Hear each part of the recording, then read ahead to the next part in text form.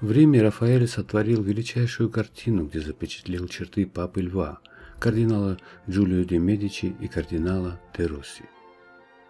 Среди прочего, есть там полированный золотой шар на спинке кресла, такой блестящий, что в нем словно в зеркале отражаются свет от окна, спина папы и вся глубина комнаты. Так описывал картину пораженный и восхищенный Вазари.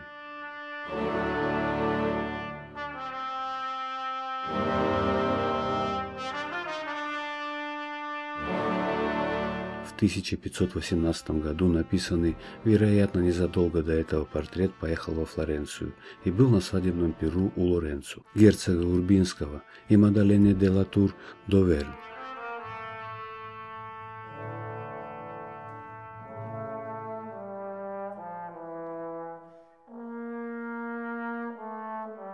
Бывший кардинал Джованни де Медичи, сын Лоренцо Великолепного, а ныне Папа Лев X, хотел во что бы то ни стало присутствовать при этом событии, хотя бы в виде портрета.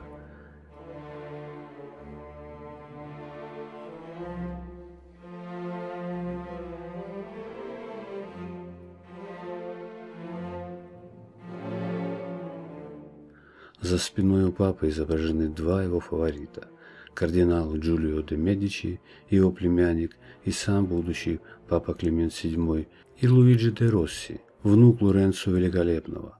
Позже, когда портреты пап станут писать Тициан и Веласкес, Рафаэлевское решение послужит для них образцом.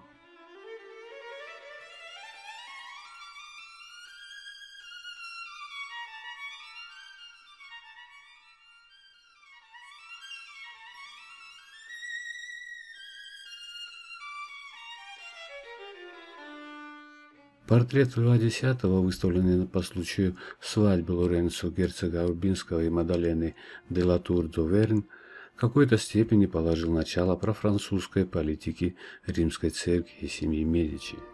Исследования показали, что по первоначальному замыслу папа должен был сидеть один в своем кресле на фоне зеленой драпировки, как на портрете Юлия II,